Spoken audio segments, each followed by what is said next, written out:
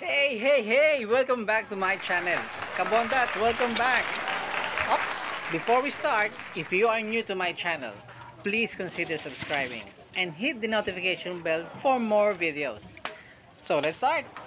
Today we have a new project, a new arrangement. So join me or bear with me while I make this new one. I started out with this greenery which is called fishtail. Ah, by the way guys, this fishtail was harvested in our backyard.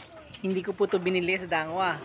Nagkataon, may tanim po nito at ay, ganda diba? Nakamenos tayo. So, nood muna.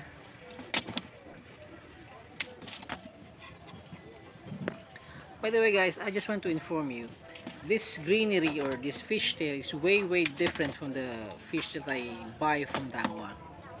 Iba siya eh. Ang lapad ng dahon, very thick, very strong stems. I think this will be more better than the usual fishtail that we use.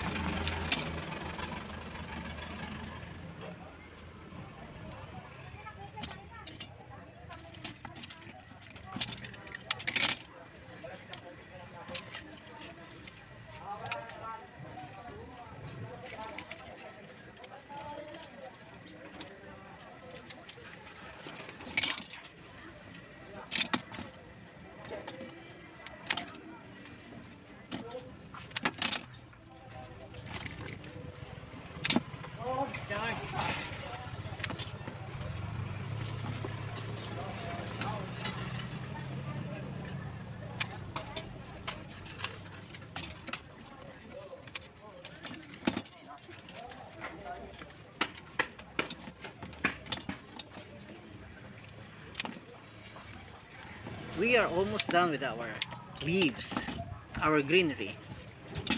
Next will be our flowers.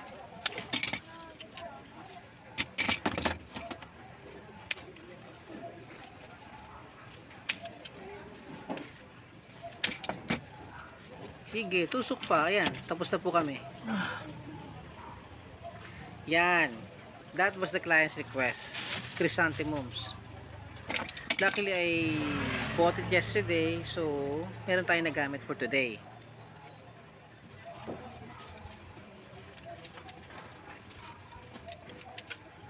And the client's request was to use yellow and white color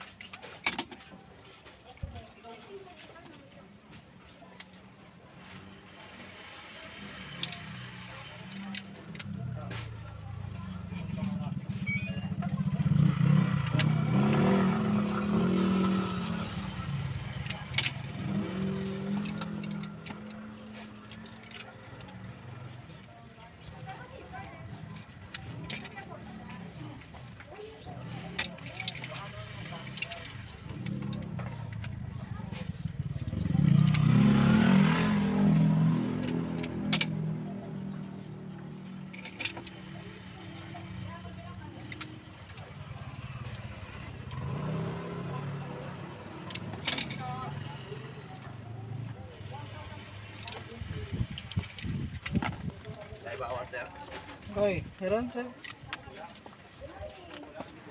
These rosal leaves are really useful, especially on fitting and uh, filling all those empty spaces when it comes to arrangement. But wait, there's more. Tingnan nyo. Para siyang papwa. Once ilagay natin siya sa middle, sa edges, yung dating ng arrangement niya, lumalambot, kumakapal, nagiging bushy, nagiging basta maganda, di ba? That is the reason why I'm telling you guys, you must choose the right or perfect combination of materials. Not just flowers, not just foliage, but the whole package. At nga pala mga kabuntat, hindi ko sinasabi to dahil baka isipin nyo mas magaling ako sa ibang florista. No, that is not the reason. The thing is, nakita ko na to sa abroad. Na-experience ko na. Nakita ko na rin to locally. So ito yung mga bagay na pwede natin pagsimulan para tayo mahasa at matuto sa mas magandang paraan.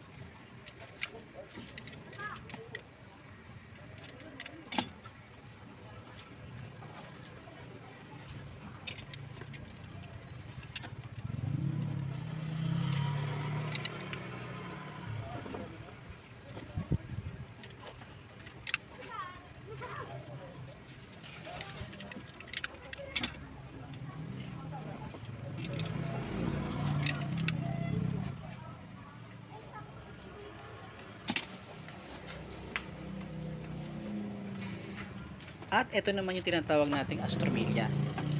Tingnan nyo kung gaano kaganda pag na-add natin sa arrangement.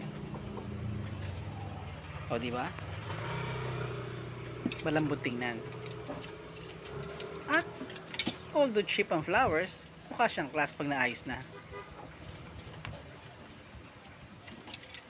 Hindi naman porkit mamahalin ng bulaklak eh, pag nilagay mo yung magmumukhang maganda. Siyempre, nasa arrangement pa rin yan.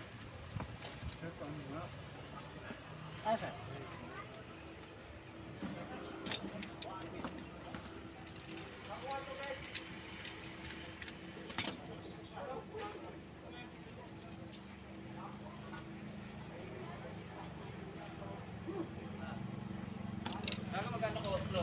7.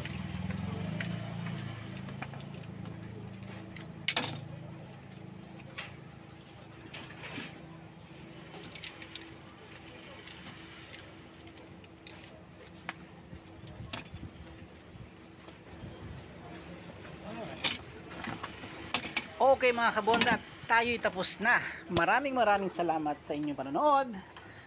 Till next time po, huwag kalimutan, subscribe naman dyan.